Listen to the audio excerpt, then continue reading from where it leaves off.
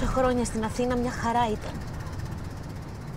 Είχε ένα ωραίο σπίτι, είχε συγκάτοικο. Συμπαθέστατο παιδί ο Γιάννης. Δεν μιλάνε πια. Ποιος ξέρει γιατί. Συγκάτοικος. Ελάτε τώρα.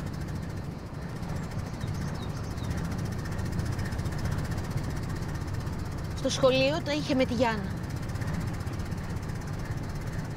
Η Γιάννα συγκατοικεί με τη Μαρία. Αυτή τον παρέσυρε. Θα το έχει το όνομα. Όχι.